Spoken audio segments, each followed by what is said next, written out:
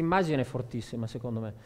Questa immagine fa capire che tutto quello che era stato prefigurato nella pianificazione in, età, eh, in epoca fascista in realtà non si attua, la città è ancora abbastanza dentro al, al, al suo esagono, questa bomba che cade, no? che è l'idea della, della guerra, no? la conclusione della guerra, ma è anche la bomba che fa poi esplodere la città fuori dalle, dalle sue mura. Quello che succede è poi da lì eh, nel dopoguerra è tutta l'epoca della ricostruzione, cioè letteralmente tutte le città esplodono no? per l'urgenza della ricostruzione e, e, la quantità di interventi edilizi.